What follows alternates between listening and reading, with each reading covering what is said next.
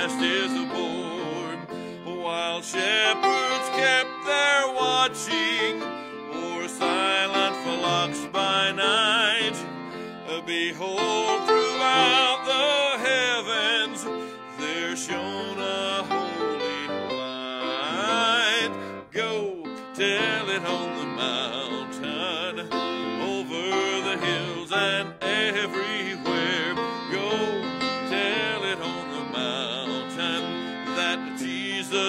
Christ is born.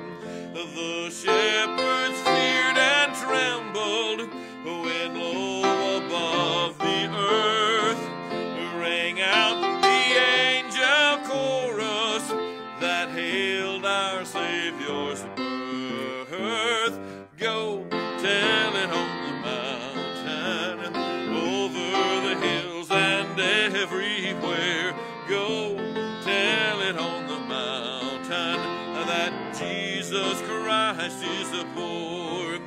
down in a lowly manger.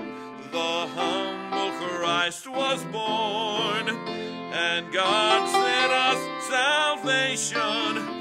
That blessed Christmas morn. Go tell it on the mountain, over the hills and everywhere.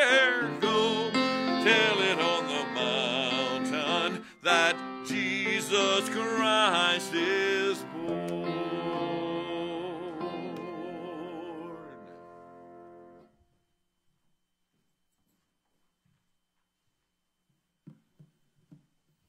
Good morning, brothers and sisters. It's wonderful to know that you're worshiping with us this morning. It's a beautiful morning outside, isn't it? I don't remember the last time I saw a snow such as this. I ran into Matt and Krista, our neighbors across the street, this morning. I was getting, I was getting a cup of coffee at uh, at the store, and they told me that uh, many of you have been following uh, their story uh, with little Dax, who was born so premature, and he's over four pounds now, and so many of us have been helping them pray for him. But they said this morning, this little guy, he's almost three months old.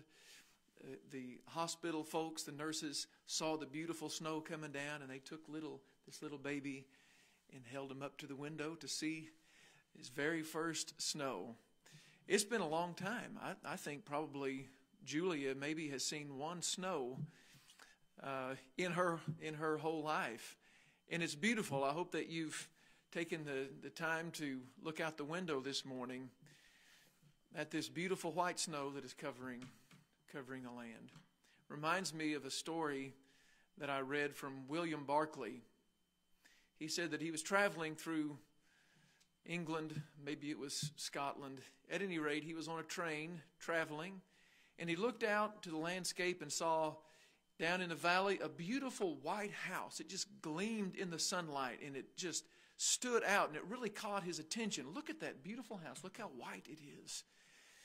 But on the way back from his destination, he was looking out the window again at that same scene, and the snow had fallen and blanketed the entire valley, the whole land, with a beautiful blanket of white snow. And against the pure white snow that had covered the land, that house looked dirty and dingy. The house that had looked so white and magnificent against the white uh, snow that had covered the land, it didn't even look white any longer.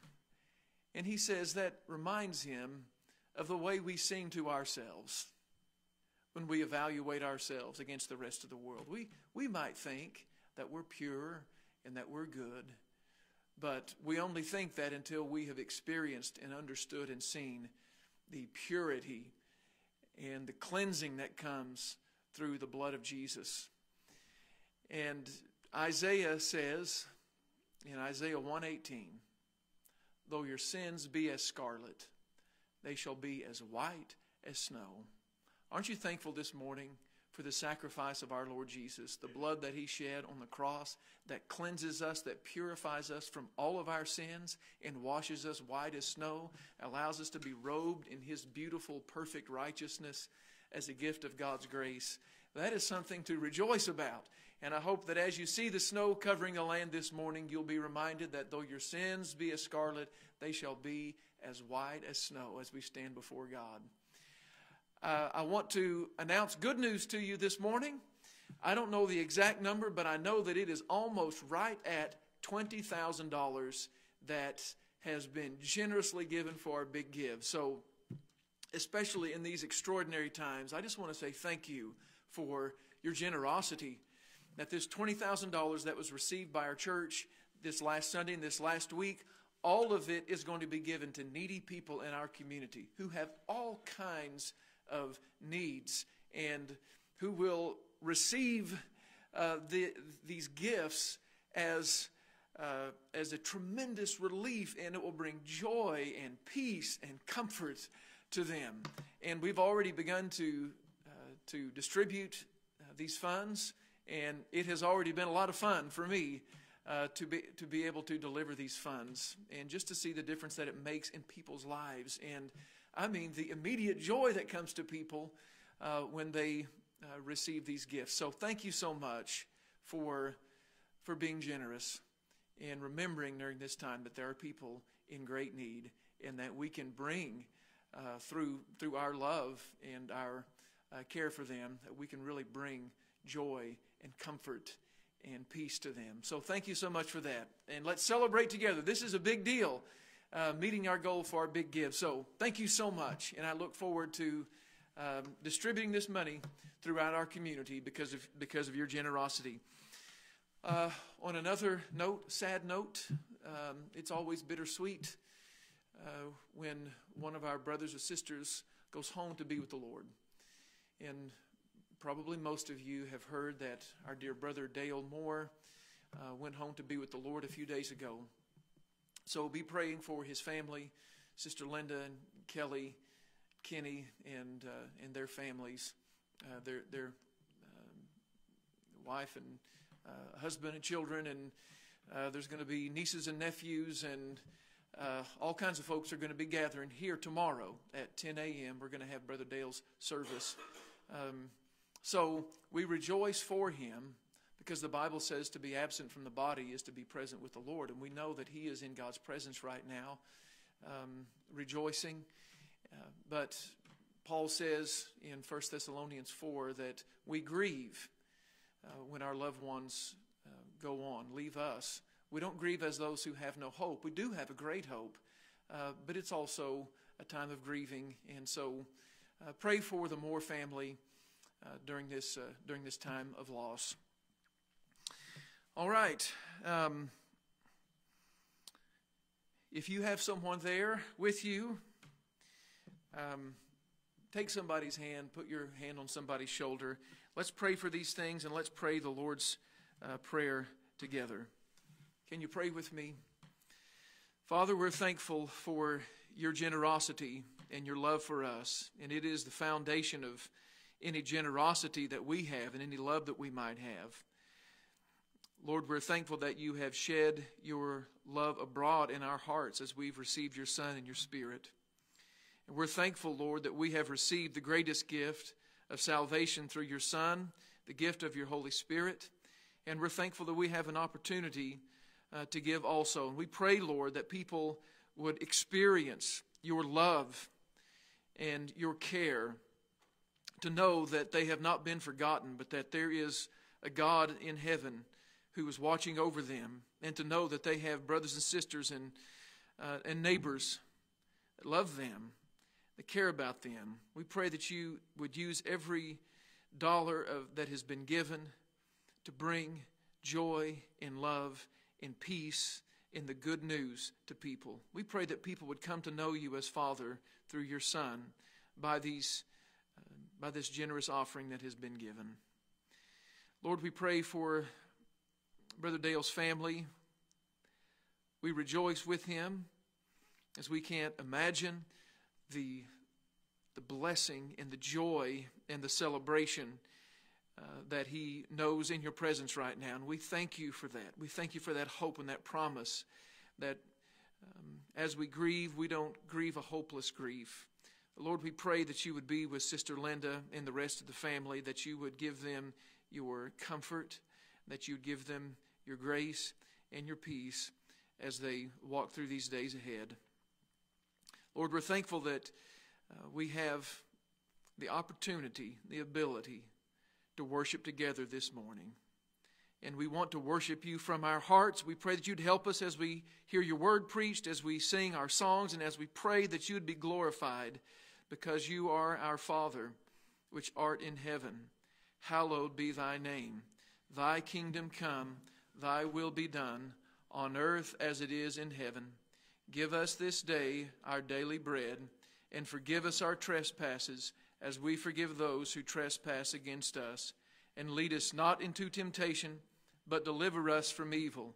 For thine is the kingdom, and the power, and the glory forever. Amen.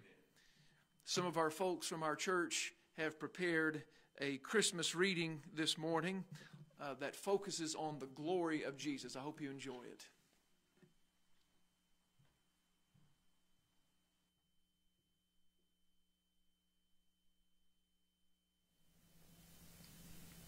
That night, some of the shepherds were in the fields, outside the village, guarding their flocks of sheep. Suddenly, an angel of the Lord appeared among them, and the radiance of the Lord's glory surrounded them.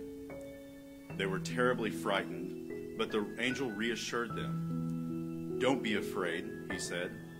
I bring you good news of great joy for everyone. The Savior, yes, the Messiah, the Lord, has been born tonight in Bethlehem, the city of David.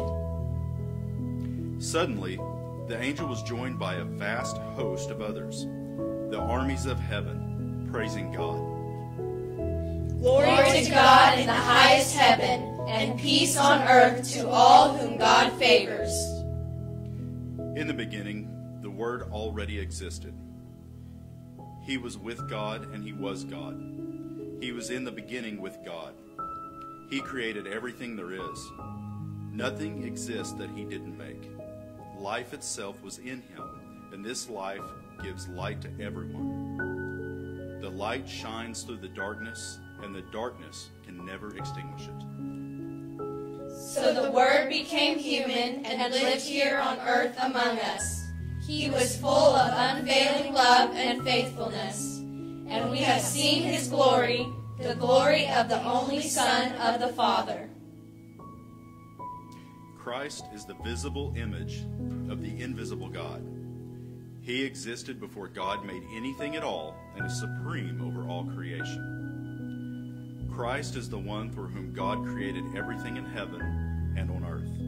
He made the things we can see and the things we can't see kings, kingdoms, rulers, and authorities. Everything has been created through him and for him. He existed before everything else began, and he holds all creation together. Though he was God, he did not demand and cling to his rights as God. He made himself nothing. He took the humble position of a slave and appeared in human form. And in human form, he obediently humbled himself even further by dying a criminal's death on the cross. Yet it was our weakness he carried it was our sorrows that weighed him down, and we thought his troubles were a punishment for God for, for his own sins. But he was wounded and crushed for our sins. He was beaten that we might have peace. He was whipped and we were healed. All of us have strayed away like sheep. We have left God's path to follow our own, and the Lord laid on him the guilt and sins of us all. Because of this, God raised him up to the heights of heaven and gave him a name that is above every other name, so that at the name of Jesus every knee will bow in heaven and on earth and under the earth. Every tongue will confess that Jesus Christ is Lord, to the glory of God the Father. Hallelujah! Salvation is from our God. Glory and power belong to him alone. In front of the throne was a shiny sea of glass, sparkling like crystal. In the center and around the throne were four living beings, each covered with eyes inside and out. Day after day and night after night, they kept on saying, Holy, holy, holy is the Lord God Almighty, the one who always was, who is, and who is still to come. Then I looked again and I heard the singing of thousands and millions of angels around the throne and living beings and the elders. And they sang in a mighty chorus The Lamb is worthy, the Lamb who was killed. He is worthy to receive power and riches and wisdom and strength and honor and glory and blessing. And then I heard every creature in heaven and on earth and under the earth and in the sea, and they also sang. Blessing and honor and glory and power belong to the one sitting on the throne and to the Lamb forever and ever.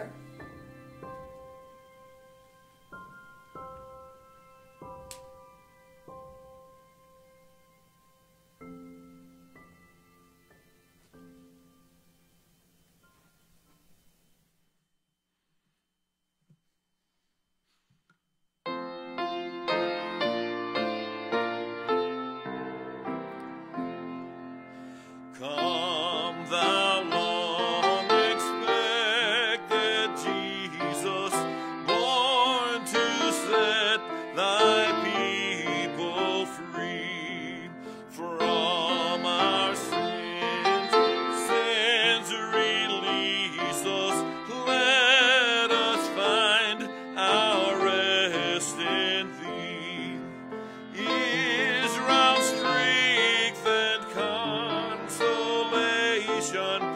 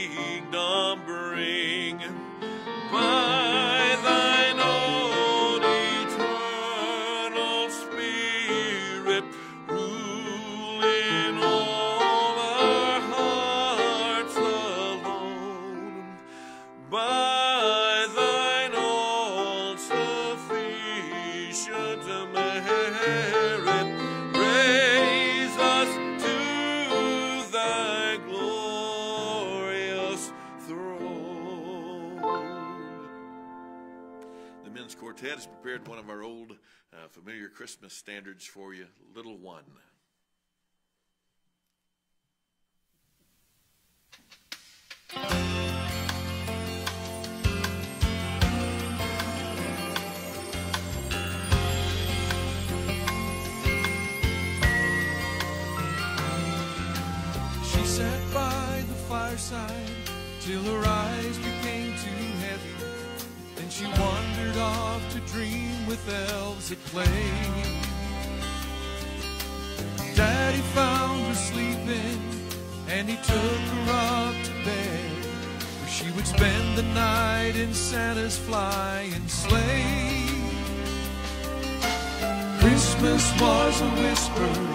In her ear sounds that only children's hearts can hear. Little one, in the morning when you waken, you'll find your every dream has taken form. There'll be joy. Christmas Day will come to life because of you you our love, little one.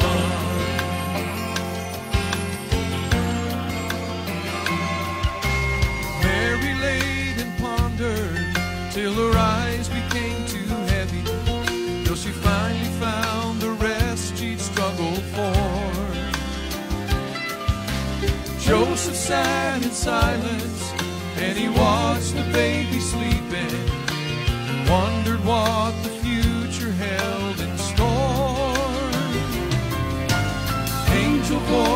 whispered in his ear.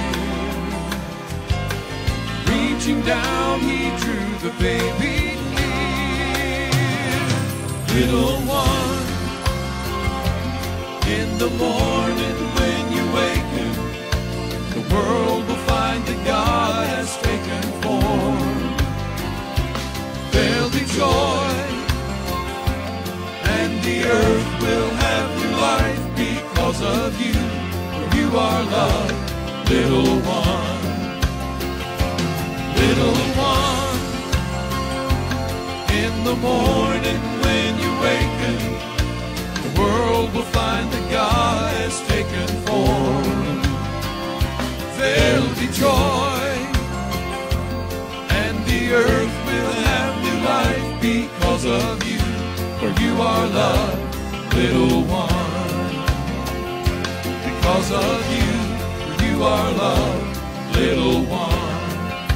Oh, because of you, you are loved, little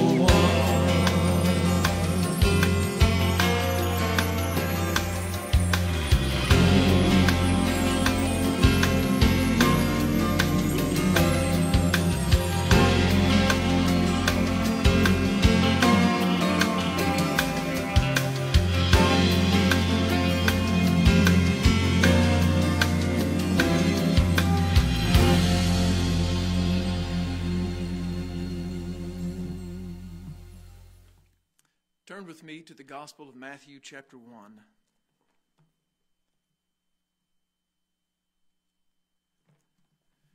I don't know about you, but my family, we have a difficult time shopping for Christmas presents.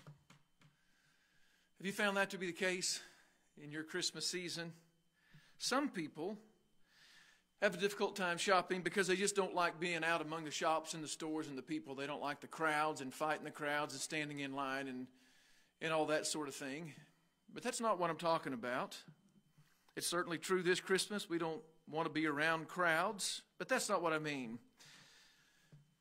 Other folks may have a difficult time shopping for Christmas presents because they just don't have the money. They know what they would like to get for their loved ones, but they can't afford it. And so the Christmas shopping season, buying Christmas presents, can be difficult, can be discouraging and depressing for that reason. But that's not the reason that I'm talking about either, why shopping for Christmas can be a difficult time. The reason for us is that we don't need anything. You think, what am I going to buy for the kids? What am I going to buy for my wife? What am I going to buy for mom and dad? And we scratch our heads and we wonder, they don't need anything. I can't think of anything that they need. Most people we know, isn't this, isn't this the truth? Most of us, when we want something, we go out and get it. By the time Christmas comes, there's nothing people can think of to get us. Uh, the kids, their closets are so packed full of stuff. Their rooms are crammed full of stuff. We know that the presents from last year are going to have to be displaced, even though they don't need to be replaced, but they'll have to be displaced to find a place for the new presents. They just don't need anything. And so it becomes difficult. What am I going to get them? I can't, I don't have, I'm not creative enough. I don't have the imagination to think of what I might buy this person. God has been so good to us. We, we don't need anything. We don't need anything. And that can make it difficult. That's the problem. We don't need anything for Christmas. That's not exactly right, is it? What we still need for Christmas is the original reason for Christmas. What do we still need? That's the title of the message for this morning. What we still need for Christmas. Matthew chapter 1. Mary is engaged to be married to Joseph. They're betrothed, which is a, a more serious relationship in that culture. That engagement is here. It's almost marriage. But she's found to be with child. She's pregnant. And it becomes obvious. And Joseph is wondering, he knows this can't be his child, and he's wondering, what am I going to do? He says, I'll just divorce her quietly. I don't want to embarrass her or shame her. I'll just divorce her quietly and move on. But then an angel from heaven comes to Joseph with a message. Verse 20 and 21. And an angel of the Lord appeared to him in a dream, saying, Joseph, son of David, do not be afraid to take Mary as your wife, for that which is conceived in her is from the Holy Spirit. She will bear a son, and you shall call his name Jesus, for he will save his people from their sins. He will save his people from their sins. What we still need for Christmas is the reason for that first Christmas.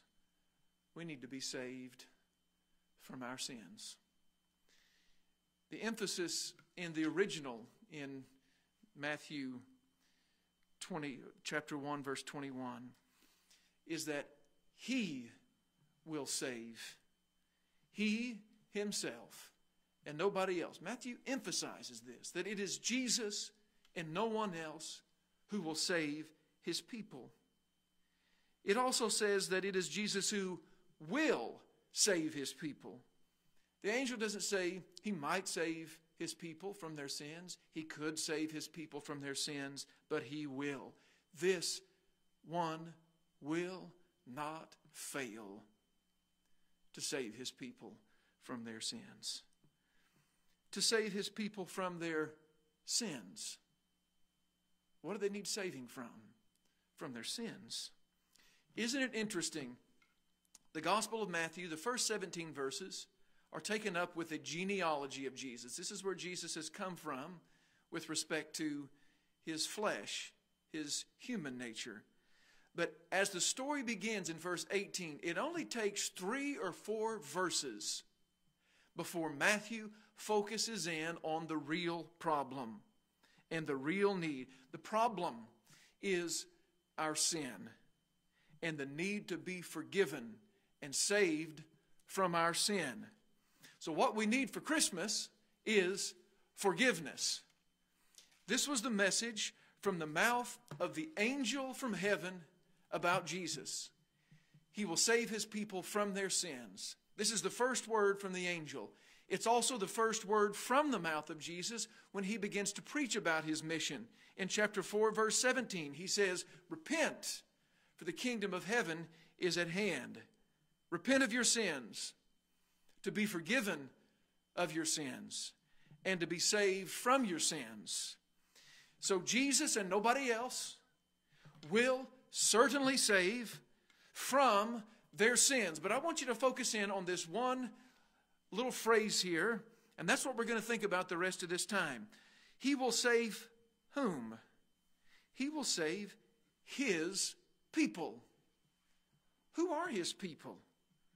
Who are these people that Jesus is going to save from their sins? Well, I want you to look in the passage. Look at verses 1 or verse 2 through 17. Matthew is showing us that Jesus, first of all, came to save his fathers so they could be forgiven of their sins.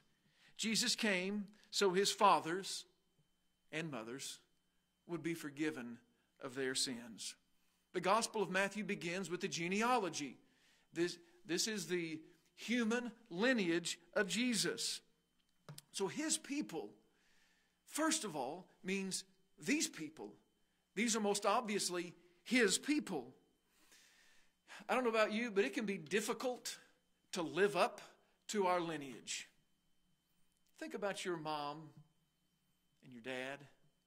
Think about your grandparents. What do you know of those who came before you? Do you ever feel that this is going to be hard to, I'm just not going to measure up? Look at this lineage Abraham, Isaac, Jacob, David, Solomon. It's quite a lineage. At Connor State College in the baseball office, there are two plaques hanging on the wall. Both of them have the name Jeff Blair on them. All American. Two years. Two years. When I went to Connor State to play baseball, those plaques had been hanging on the wall for about 25 years. Because my dad was the first All American at Connor State College in baseball. I believe his freshman year he hit 485, something like that. And here I come, and the players on my team are asking me, How did your name get on the wall already? No, that's my dad. I did not live up to my lineage when it came to my batting average at Connor State. It can be difficult to live up to our lineage. Well, look at this. How could I live up to that? How, I, how am I ever going to measure up? Well, Jesus has an impressive genealogy, but a closer look reveals that it is also a depressing genealogy. If you look a little more closely, this is a long list of sinners. A long list of sinners. And Jesus is going to say in the Gospels, before Abraham was, I am. Some, someone greater than David is here. Something greater than Solomon is here. So, Jesus, you look at this long list of sinners, Jesus is not only greater than his fathers, he's also the Savior of his fathers and his mothers. These are his people. These are the ones that he has come to save from their sins. And if you look closely, you can see clearly that Matthew, actually in this genealogy, has emphasized their sin. Look at verse 3. Perez was born from Judah by Tamar. Why, why bring that up? It's not necessary strictly. Verse 6 by the wife of Uriah. What does that make you think of? Why does Matthew say this? Four times in this genealogy, Matthew mentions the deportation to Babylon, their exile. Why were they dragged out of their homeland? It was because of their sin, their unfaithfulness to God. And so Matthew, in a number of ways, here emphasizes the sinfulness of Jesus' fathers. Well, what kind of sin? Well, their sin is actually spelled out in their story if you go back and read their story in the Old Testament. But I want to point out three sins that are emphasized here. First of all, their selfish sin. The father of our faith, Abraham, he gets into the promised land and there's a famine. The first thing they do is go to Egypt. And what does Abraham do? Abraham, who was willing to sacrifice his wife a long time before God called him to sacrifice his son. God tested him in Genesis chapter 22. But Abraham was willing to sacrifice his wife Sarah. When they got into Egypt, Abraham was afraid that the Egyptian authorities would want to take his wife and that they would kill Abraham to get her. And so Abraham said, Sarah, tell them you're my sister. And Sarah was taken from Abraham into Pharaoh's harem. He was willing to sacrifice his wife. Why? For himself. This is a story early on in Abraham's history about the selfishness of his sin. When Isaac comes along, Isaac does the exact same thing. He follows in the footsteps of his father's selfish sin. The Bible says that he throws Rebekah under the bus when he goes to live among uh, foreigners, does the exact same thing.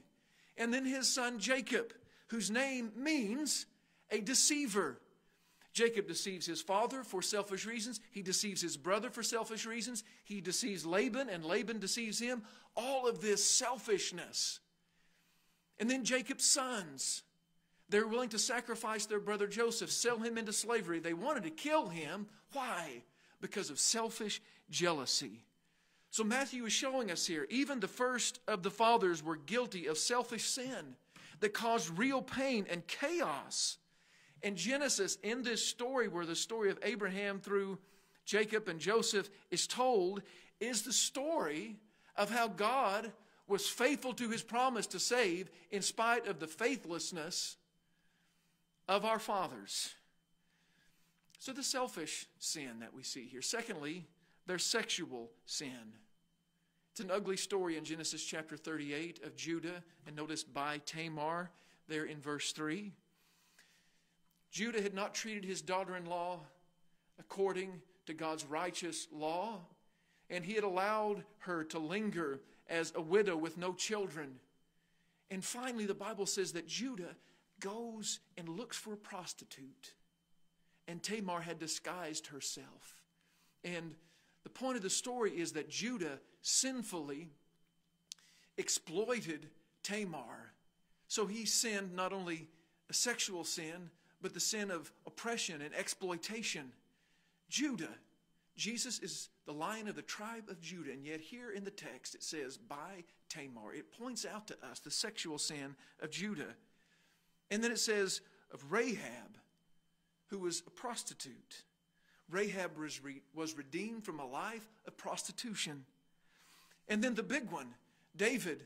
When David was the powerful king, he looked down from his palace roof and saw Bathsheba bathing.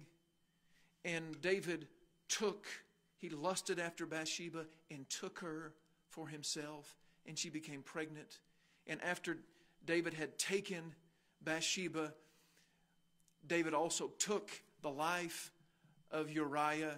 First, he took Uriah's wife, then, he took Uriah's life in the sexual sin that ended up creating a civil war in Israel, the chaos and confusion that the nation was plunged into because of David's selfish lust.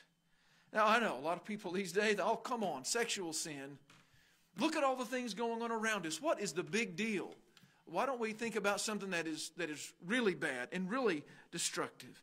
But don't you see, beloved, that overstepping God's good and perfect and beautiful vision and the boundaries that God has set on our sexual lives creates so much chaos and so much pain and so much confusion. And so often, sexual temptation and giving into that leads to exploitation and all kinds of other misery. God's plan from the very beginning, the very beginning of the story, is one man married to one woman for life and to enjoy this beautiful gift of God within this relationship. Anything outside of that is sin. Matthew is highlighting this here. I think it's interesting that Mary would not have been chosen for this role to carry the Son of God if she had not followed God's law. If she had not been faithful, she would not have received this singular privilege. So we see the selfish sin, we see sexual sin, and then we see their spiritual sin. They were cast out of the land because they turned away from God to worship idols. They worshiped they worshiped false gods, they worshiped idols that were not gods at all. This God who had saved them out of Egypt, who had adopted them as his children, they turned away from him. Even Solomon, who built the temple, by the end of his life, he had turned away and had been, his heart had been dragged away from the worship of God to bow down before foreign gods. His wives had dragged his heart away from God, and it was Solomon's fault. And because of this, they were exiled from the land. This is a sinful lineage. You say he came to save his people from their sin. Well, by the time Jesus came, wasn't Abraham already forgiven? Luke chapter 16 says that Lazarus was taken to Abraham's bosom. That is the image of heaven. Wasn't Abraham already forgiven? Yes, Abraham was forgiven already. But listen, Abraham was not forgiven apart from the sacrifice of Jesus. This is the way that works. The Father foreknew and forgave based on his foreordination of the sacrifice of his only Son. It's not that Abraham understood everything, but God looked ahead because God foreknew it and he foreordained that his son would come, live a sinless life, and die on the cross for the sins even of his fathers. Look right here in the passage. Matthew quotes Isaiah chapter 7, verse 14, and the virgin shall be with child, and you will call his name Emmanuel, which is God with us. But through the rest of Matthew's gospel, he quotes from the Old Testament, and he quotes many times from Isaiah. For instance, chapter 8, verse 17, he quotes from Isaiah chapter 53, which is the great chapter that talks about Jesus' death for the sins of his people. So, the same Isaiah who prophesied the virgin birth also prophesied the vicarious death. And Matthew sees all of this together. Matthew is convinced that Jesus' whole life is the fulfillment of Scripture, which was announced beforehand. God foreordained it, God foreknew it, and therefore God forgave based on the sacrifice of Jesus when the fathers turned to him in faith. In fact, John chapter 8, verse 56 says, Jesus is talking to uh, the Jewish people, and he says, Abraham rejoiced that he was able to see my day. He saw my day, and Abraham was glad. Abraham didn't understand it all, but he knew that God had promised that all the nations would be blessed through Abraham's offspring. So Abraham's whole life was a looking ahead to what God would do for the world through Abraham's family, and that includes Abraham himself. It says in Matthew 1 1 that Jesus is the son of Abraham. Well, Abraham's son was Abraham's only hope. I don't think he understood everything about it, but he knew something about it. He knew that he had sinned and he needed to be forgiven. The Bible says that none of these fathers could have been forgiven through or saved through the old system. Hebrews chapter 9, verse 22. You think about the sacrificial system, the bulls and the goats year after year that were sacrificed. It says, without the shedding of blood, there is no forgiveness of sins. There must be a shedding of blood in order for there to be forgiveness of sins. So, what about this old sacrificial system? Just a few verses later, Hebrews chapter 10, verse 3 and 4. But in these sacrifices, there is just a reminder of sin year after year. So, as the priest sacrificed and slaughtered the bulls and the goats, this was simply a reminder, an illustration that you are a sinful people who need grace, who need forgiveness. But he says it is impossible that the blood of bulls and goats should take away sins. None of the sins in the Old Covenant were worthy to be the foundation of our forgiveness.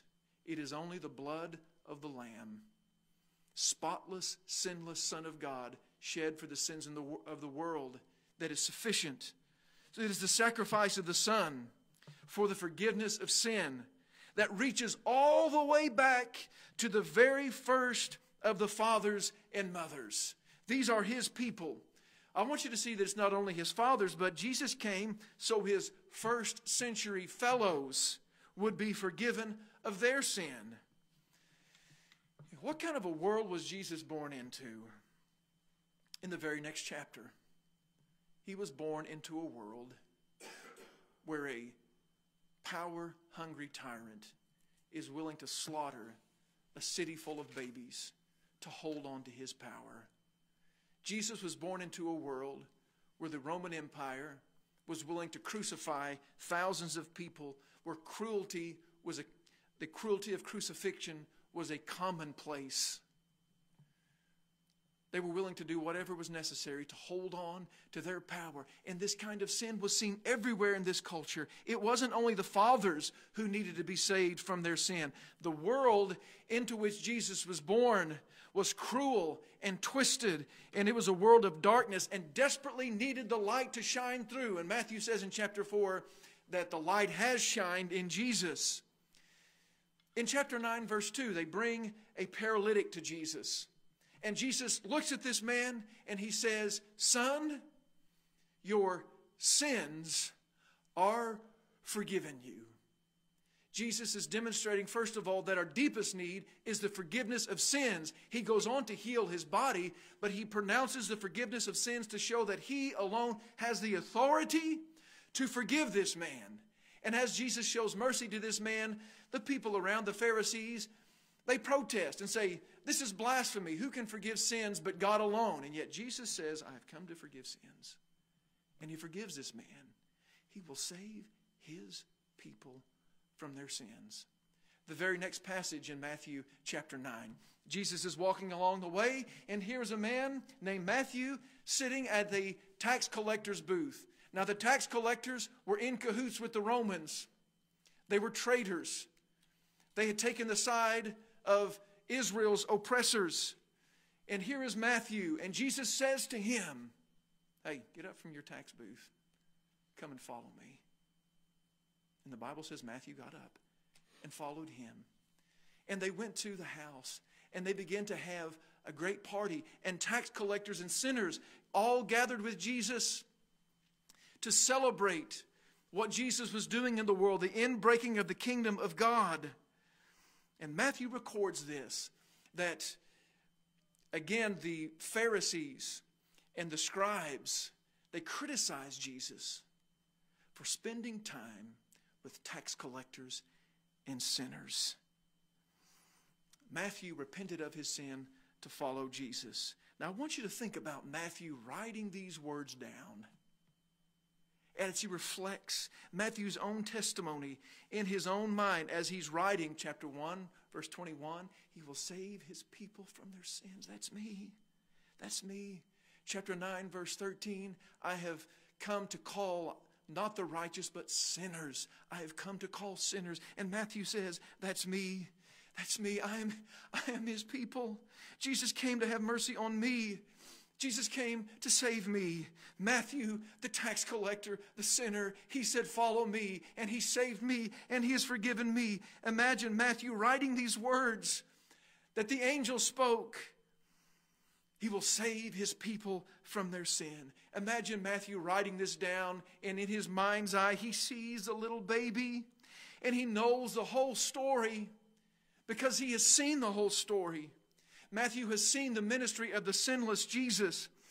He has seen Jesus die on the cross for his sins. He has seen the risen Jesus who has overcome sin and death and hell. And here he is remembering the day that Jesus passed by that tax collector's booth and he stopped. He said, Matthew, I know who you are. You're my people. Come follow me. And he did. And he's writing about it for the whole world to know. Go into all the world and share this good news. Matthew writes at the end of his gospel. You say, Matthew, why did, why did Jesus stop and save you? And Matthew's answer is the same answer that we all have. I don't know. I don't understand why he saved me why he counts me among his people. But I praise God that he has. Jesus, the Son of God, became a little baby and walked among us, his people. He walked among his people, and they had seen his glory, and they touched his hands. They touched the nail scars in his hand and the scar of the spear in his side. He walked among his people as he showed mercy, forgave their sin, and saved them from their sin. Well, not only are his people his fathers, not only his first century fellows, but Jesus came so that his future followers would be forgiven of their sin. We're talking about us now, right? Have you looked around you lately? We are surrounded by sin.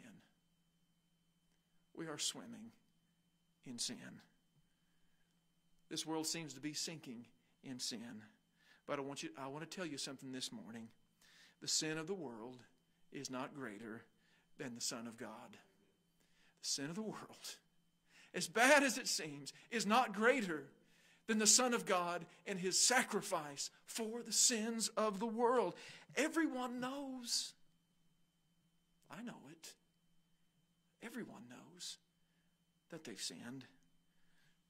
And they know, we know that our sin is not just against each other. We know that our sin is against God. We know it down in the depths of our heart. Everyone knows the anguish of guilt in their gut. We want to suppress it, we want to push it down, but it's there.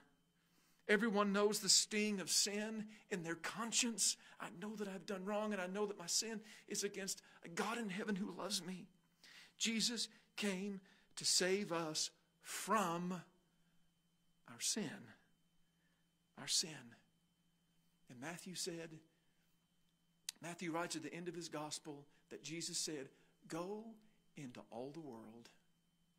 Go into all the world to all the nations and preach this good news.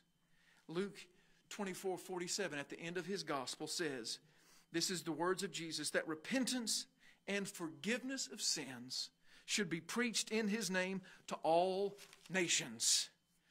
So, the sacrifice of Jesus, I want, to, I want you to see this, beloved. The sacrifice of Jesus reaches all the way back to the sin of Adam and all the way forward to his final followers.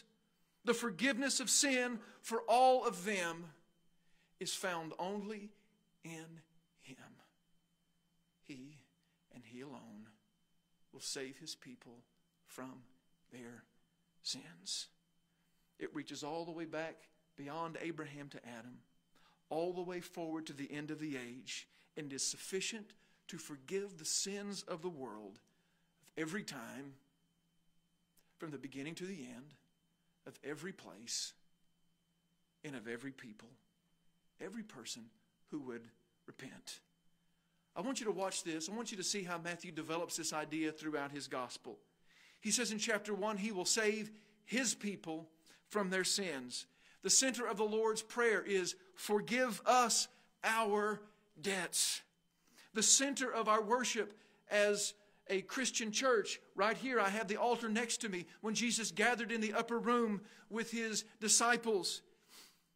And they had the Passover dinner, Jesus says to them, as he hands them the cup filled with red wine, he says, This is my blood of the covenant, which is poured out for many for the forgiveness of sins. He will save his people, forgive us our debts. This is my blood. And he says to Peter, I tell you, Peter, this is chapter 16, you are Peter, and on this rock I will build my church, and the gates of hell shall not prevail against it. He will save his people, forgive us our debts. I will build my church. This is my blood of the new covenant. He will save his people from their sins by dying for their sins, by the shedding of his own blood. By the shedding of his own blood. I want you to imagine that little baby Imagine that little baby, flesh and blood, so precious and so tender. He lives a sinless life, and he willingly lays down his life for us, shedding his blood for the worst of us. I want to tell you a story about Solomon Ginsburg. Solomon Ginsburg was a Jew born in Poland to a Jewish rabbi. Solomon became a missionary to Brazil. And one day he was preaching the gospel. And one of those in the crowd that day, his name was Herculano. When I think of Herculano, I imagine Andre the Giant. Herculano was listening, and he was listening to this message, and he couldn't take his eyes off of, off of Solomon. He was a Brazilian giant, and Solomon was preaching the Word of God, proclaiming the truth of this passage. The blood of Jesus Christ, his Son, cleanses us from all sin. That's from 1 John. And Herculano was listening to the message. He couldn't take his eyes off of him. When the service was over, this hulk of a man, Herculano, came to Solomon. And he said, Mr. Missionary, I've never heard anything like that before. But I like this message of the cleansing blood of Jesus. That's what I need. That's what I need. Can you tell me more about it? And Herculano invited Solomon to come to his house and share more about this Savior who shed his blood for his sins. But the people all around him said, Don't go there, Solomon. Don't go there. People go to that neighborhood and they don't come back. This man is a violent man. He is a giant in wickedness as well as a giant in size. He's not interested in Christianity. He's luring you into a trap. He's going to rob you. He's going to kill you. We've seen it happen before over and over. The place where he lives, this district, is a den of thieves and murderers. Don't go there, Solomon. Even the police will not go in there. It's so violent. We've seen strangers venture into this neighborhood and never come out. And Solomon said, God has called me to be a missionary and to share the good news, and I'm going. And he did. Herculano met him and invited him into his house. It was a small adobe hut. When they came into the place and began to sit down, every living thing vanished. Herculano's wife, his children, his dogs, and cats were terrified at his presence and fled for their lives. And Solomon tells this story in his autobiography. This missionary went in and he sat down on an old kerosene box. This hulking man sitting before him. And he looked into Herculano's bloodshot eyes. And Herculano said,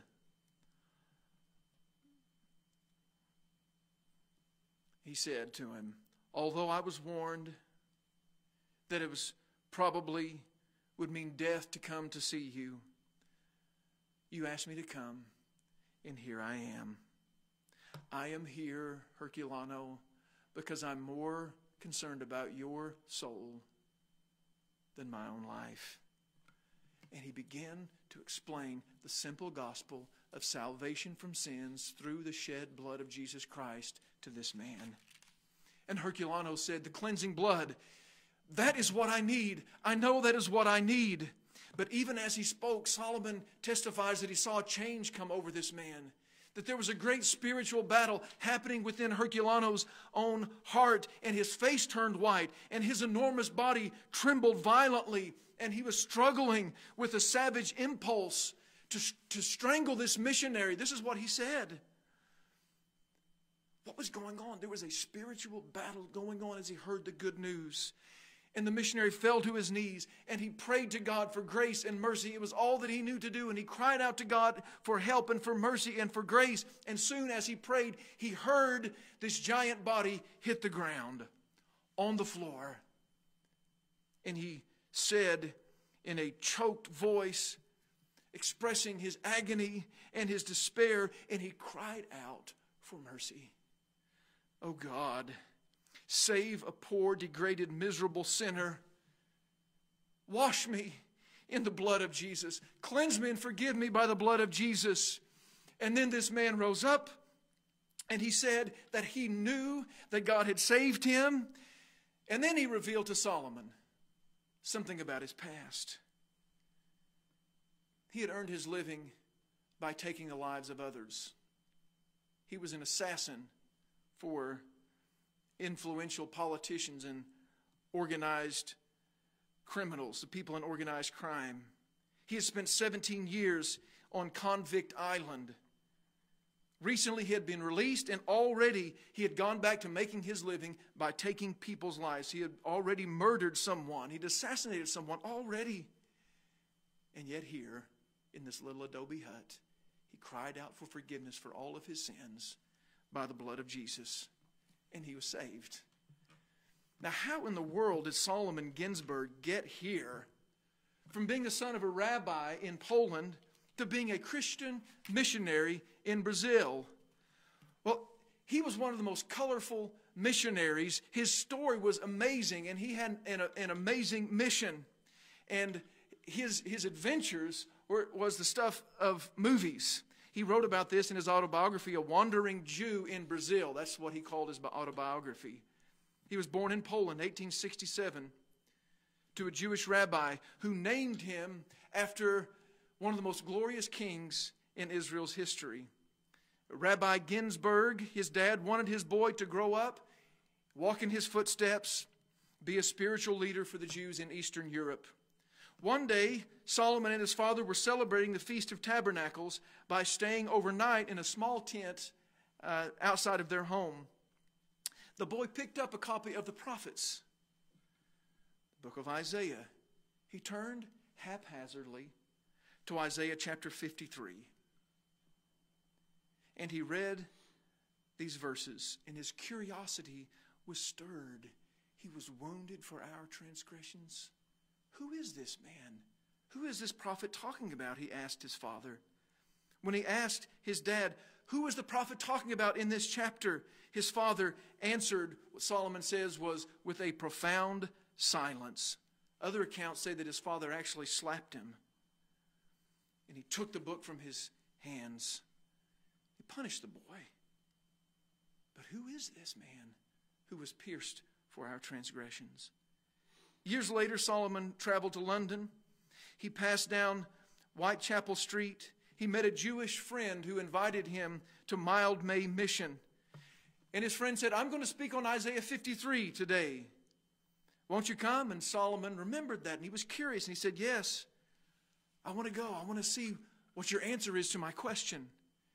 And as he listened to the rabbi speak, he grew troubled. He saw that Jesus Christ fulfilled Isaiah's prophecies in Isaiah 53.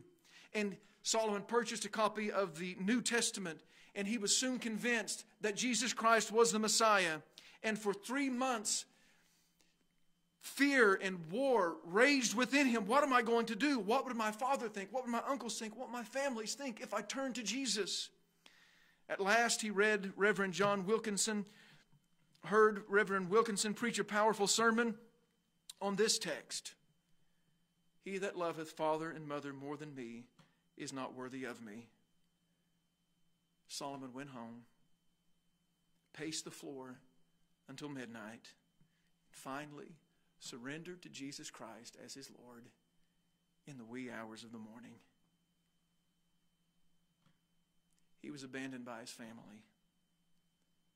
Later, he was beaten literally and physically by some of his Jewish friends, people in his community. This is what he said But I knew I was forgiven and accepted. I felt that my load had been lifted. I knew that my sins had been washed away by the blood of Jesus. The son of a rabbi who turned to Jesus because of his shed blood goes to Brazil and wins many people preaching the same message. It is the message at the beginning of the gospel. That same blood that reached back to the beginning to save the fathers, the same blood that saved those who saw the crucifixion with their own eyes, is the same blood that will save his people from their sins today as they repent and turn to him in faith. This is what we all still need this Christmas. In just a moment, I'm going to ask Marion to play. In fact, Marion, if you want to go ahead and begin that, that's fine. The Christmas story centers on the Son who became the great sacrifice to save us from our sin. Have you been forgiven of your sin? Have you turned to Jesus as your Lord and Savior, this one who became flesh and poured out his blood so that God's grace of forgiveness might be poured out on us? Have you been forgiven? Have you been saved and rescued from your sin and the penalty of sin? Have you turned to Jesus? Listen to me, He loves you no matter what you've done, no matter what you've become, no matter where you're from, no matter where you are right now on your journey, Jesus loves you. The angel from heaven came to announce the good news from the Father that God sent His only Son because He loves the world and He loves you. Will you turn to Him? Will you hear the voice of Jesus call to you this morning? Turn away from your, your old life. Follow me. I will forgive you. I will transform you because I love you. As Marion plays softly, would you consider these things? Would you receive from God what we all need this Christmas?